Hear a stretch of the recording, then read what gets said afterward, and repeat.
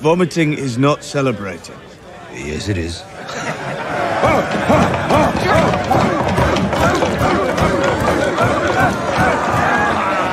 Most people get bloody murdered.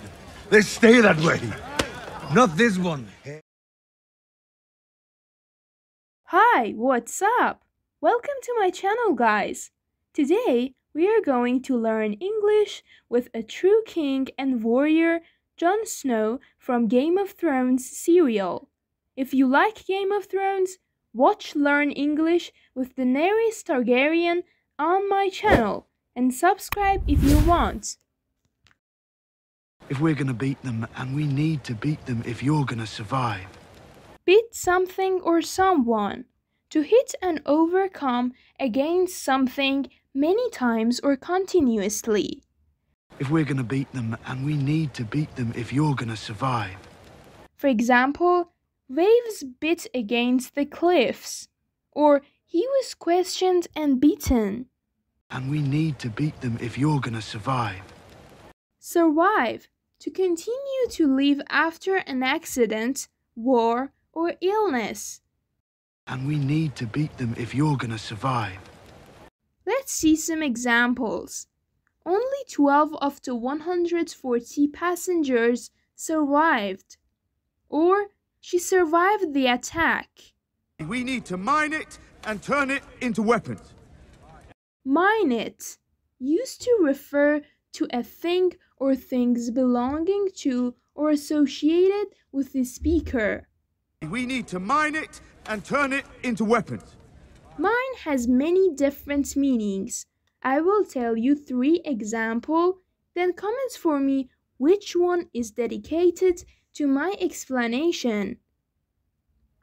Number 1. Is that your car? No, mine is parked over the road. Number 2. Wow, she's beautiful. I need to mine it. Number 3. The time when children used to work down the mines. Which one is the true answer? Right, number 2 is the true answer. While we're preparing for attack, we need to shore up our defenses. Shore up. Look at this phrasal verb. To support a wall or roof with large pieces of wood, metal, etc. to stop it from falling down. While we're preparing for attack, we need to shore up our defenses. For example, the roof had been shored up with old timbers. I've brought those allies home to fight alongside us. Alongside used to say that people or things do something or exist together at the same time. I will show you some examples to understand better. Charles spent a week working alongside the miners. Or organized crime continued to flourish alongside the mainstream economy.